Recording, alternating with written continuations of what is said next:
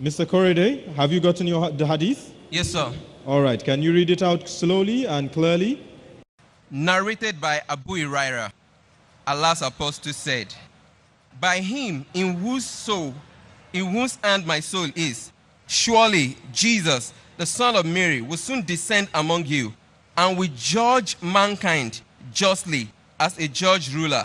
He will break the cross and kill the pigs, and there will be no jizya, taxation taken from non Muslim. Money will be in abundance so that nobody will accept it. And a single prostration to Allah in prayer will be better than the whole world and whatever is in it. Abu Huraira added, If you wish, you can recite this verse of the Holy Book. And there is none of the people of the scriptures, Jews and Christians, but must believe in him, Jesus, as an apostle of Allah and a human being before his death. And on the day of judgment, he will be of he will be a witness against them. Sahih Bukhari, volume 4, hadith number 657. Here is my question. Sir, this hadith mentions the fact that Jesus Christ is going to judge mankind, as in judge, a judge, judge mankind.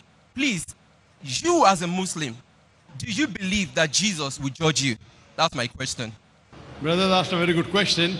He's quoted the question on the first part of the hadith, but hasn't paid attention to the second part of the hadith. The first part of the hadith says that Jesus Christ in his second coming will come and will judge humankind and would break the cause and would kill the pig and would abolish the tax. He would pray, and then it says, people will agree that he is the apostle of mankind. He is the messenger of God. That's the reply. That means, as I told in my earlier answer, many people misunderstood that Jesus Christ, peace be upon him, claimed divinity. So in his second coming, he will come as a follower of Muhammad Sallallahu Alaihi Wasallam. He will judge that mankind who says that he is God, like how you consider him to be God. There are many Christians who consider God. So he will tell this mankind, this mankind, he was never God. Oh, Ubudullah, worship Allah, Rabbi wa Rabbukum, my Lord and your Lord. This is mentioned in Surah Maida, chapter number 5, verse number 116. On that day when people will say, so he will say that, Oh, Ubudullah, worship Allah, Rabbi wa Rabbukum, who's my Lord and your Lord. Same thing in this hadith, it says that he will be called as the apostle of God, that people will agree that he was a messenger of God, but not God.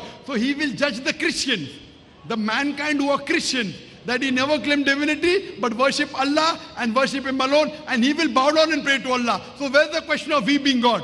When he's bowing, who is bowing to? He's bowing to God. So this hadith clearly clarifies that Jesus was a messenger and he will come and clarify that he was a messenger of God and not God himself. Hope that answers the question.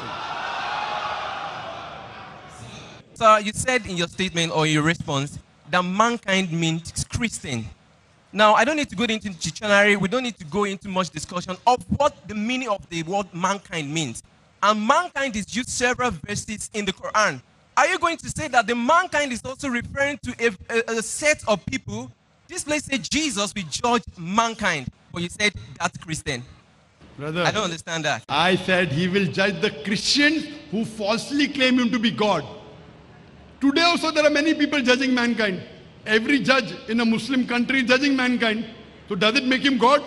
He will judge. What is wrong in that? Every Khalifa at his time he judges. Today also in an Islamic court of law, the judge is judging mankind.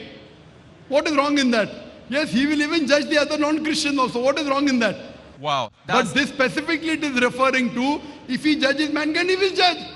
He will be a judge. So what is wrong in being a judge? Today, there are many judges in the country, in the world. So that doesn't make them God. So like you, people like you who will yet think he's God, that's the reason the hadith completes and says he's messenger of God. So when it's clearly mentioned, so you may think, ah, judging mankind means he's God. So people like you will yet have the sickness. That's the reason in the hadith it is mentioned that he is apostle of God. To clarify people like you who will mistranslate and twist the word. Thank you very much for answering the fact that he is going to judge other non-Muslim. And the question I pose to you, sir, is do you agree, according to this hadith, that he's going to judge you? That's the question I asked.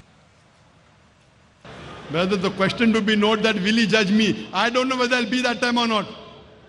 I don't know whether I'll live to that time or not.